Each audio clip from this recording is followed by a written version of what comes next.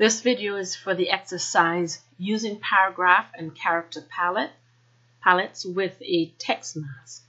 And in this exercise, we will create a text mask, use the paragraph and character palettes to change settings, add an image into the text, and add layer styles. This is an example of what the finished exercise should look like. So to get started, let us get the Toronto Skyline 2 JPEG. We're going to take a copy of this image. So we select it and copy. And we no longer need this file, so we can close it. We're going to create a new document. And it asks that we, from the preset, that we select photo. And we name that we name this file Toronto Skyline. And that we choose the size as landscape 8 by 10, which is a default, and that we set the pixel at 72 pixels per inch. Say OK. Good. Now we're going to select the horizontal type mask tool to type the word Toronto, but it asks that we use um, that we open up the character paragraph palette from the toolbar, which is this bar on the top, and it's this icon here, the toggle the character and paragraph panels. So we'll click on that and it will open up our character um, palette. And it asks us to select the font stencil. So let's type that in. Very good. And then to click in the middle and we're going to type the word Toronto in cap, all caps. As you can see, it's very small. So we're going to drag and select all the letters and we're going to make some changes through the um, character palette. And in our palette, under the text size, we're going to type in 125. And then it also asks that we make some changes to the vertical and horizontal scale. This is this icon is for the vertical um, scale and it's said to use the left right arrow slide to make the changes. So we want to set the, the vertical to 190%, so we'll drag to the right to increase that amount. There we go. Oh, just one more. There you go. And for the horizontal scale, we're to set at 110. So let's drag to the right again and increase that to 110. There we go. Very good. As you can see, Toronto is now a lot larger. We'll just drag and center. We position it on the page so that it's nice and centered. Very good. Now we're asked to just select, to click inside the text and select just the letters R-O-N in the word Toronto. So let's do that. So we'll just select. And then we're going to set a baseline shift. Now the baseline shift settings are right here. That should come up and show us that it's the baseline shift. There we go. And it says to set at a minus, uh, 54 points.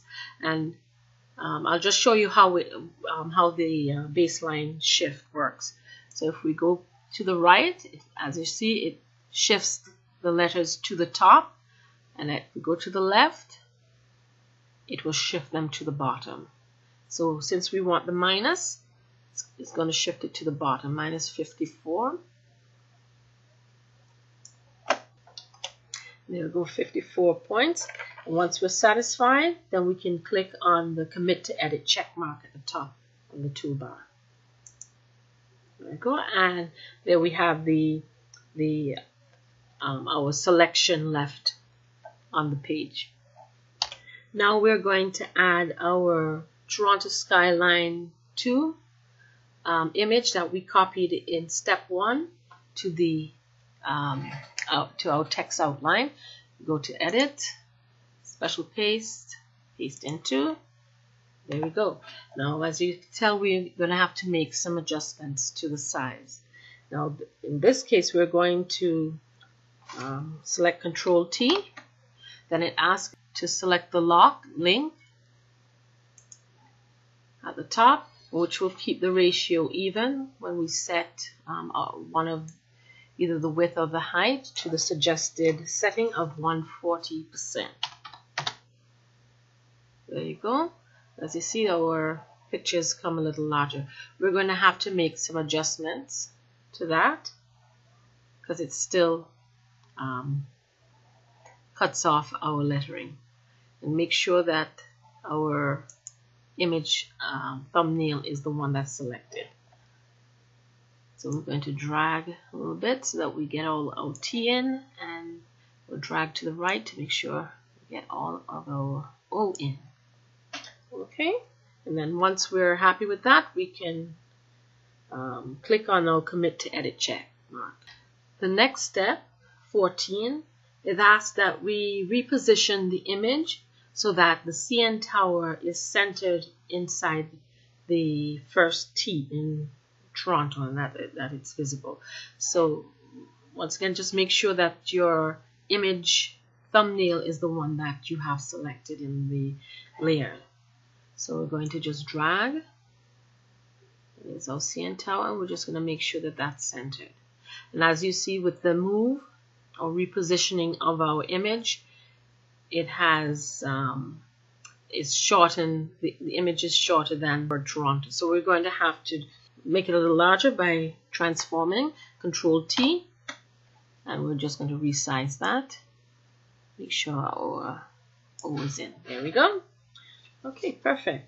And then we'll accept these changes by clicking our commit trans transform check mark in step 15 it asks that um, in the layers palette control click on the black mask part of the layer that shows the mask text. And this will select the mask text. Let's do that. So if we click control click, as you see the selection um, is chosen around the lettering. And we're going to go to, it asks to add the stroke effect by going to edit stroke and to set the pixel or the width size to 3 and to select navy. Uh, just choose one of the darker colors or colors closest to navy to you. I'm going to say OK okay and there we have our text and we're going to deselect our selection there we are in step 16, we're going to add um, style to the text. Choose our layer style button and add a drop shadow. And we'll just leave it at the default settings. And also we're going to add the bevel and emboss effect. And for both, we'll just leave default settings and click on OK. Now step, step 17, um, it asks us to choose the horizontal type tool in the toolbox and in the character palette, click on the character palette options flyout and choose reset character to bring the palette settings back to default. So we'll click on our horizontal um, horizontal type text and then the options fly out for the character settings and we're going to click on reset character and that should take it back to default settings. Now we're asked to change the uh, text type. We're asked to set the font to Trebuchet MS. So let's do that. And then just after the TO in the word Toronto, we're going to type capital of Ontario. So just here.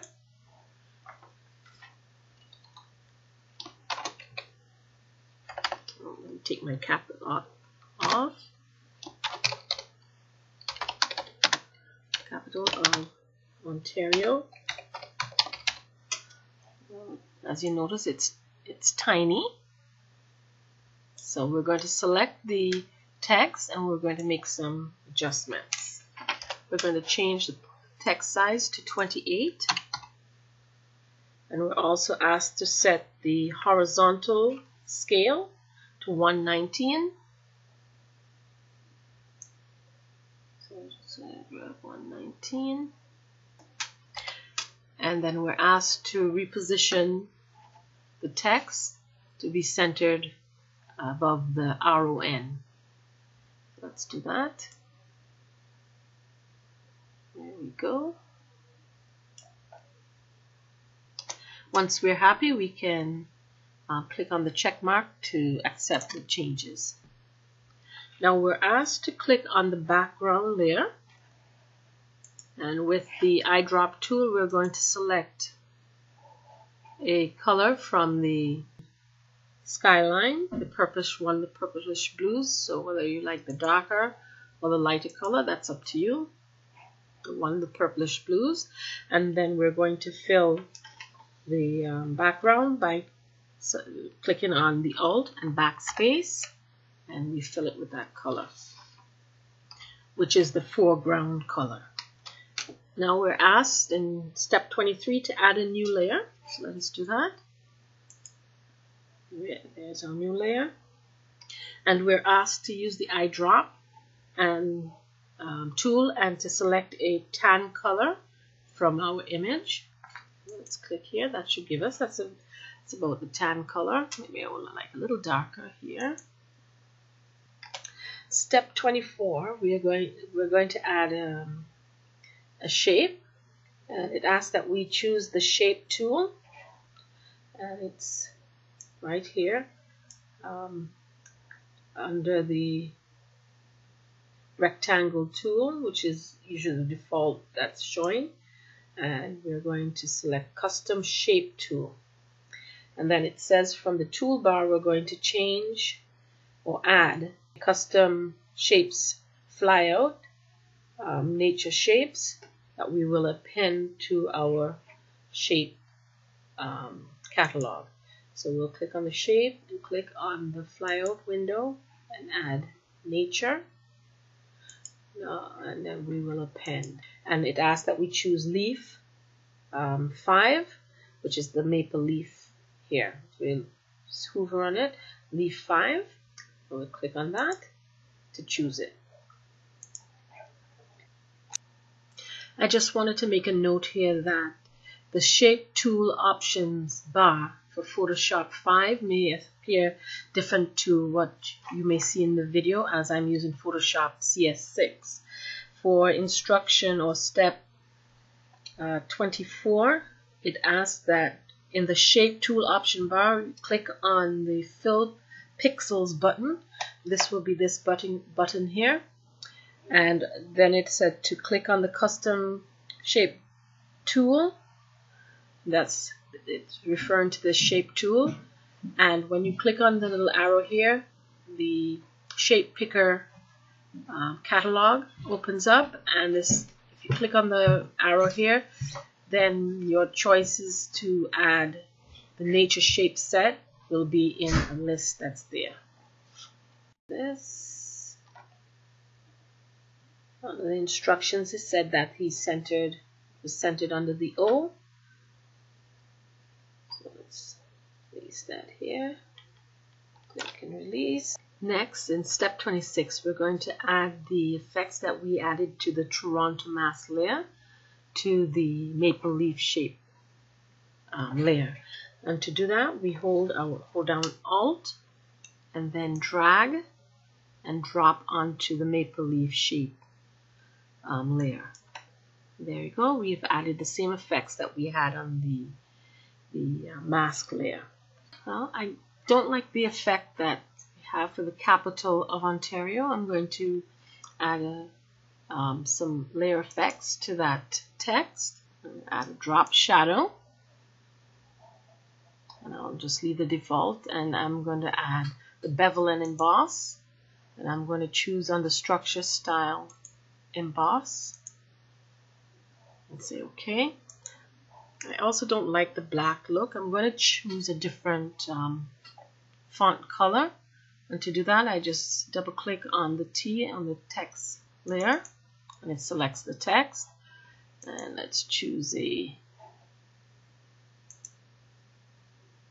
sort of a, another, yeah, a darker blue color. Not purple color. There we go. Okay. And I will accept those that change. Click OK. There we have our Capital of Ontario, Toronto uh, project completed.